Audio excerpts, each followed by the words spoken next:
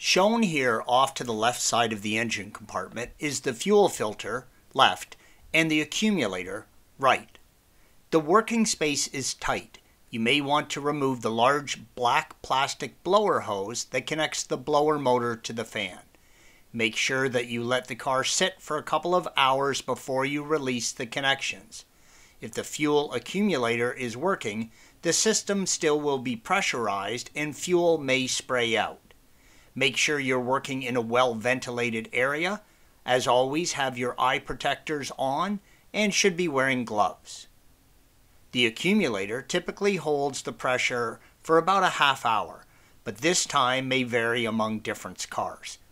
Be careful when you are removing the steel lines from the tops of the filter and the accumulators. These lines can become corroded and be very difficult to remove.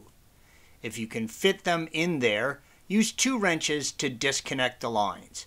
Place one wrench on the filter and the other on the line. Using this method will reduce the probability that you may damage one of the lines or the accumulator. Sometimes a faulty fuel accumulator will cause various warm start problems on the CIS equipped 911. Try replacing your accumulator if you have problems with vapor lock or difficult starting when the car has been running for a while.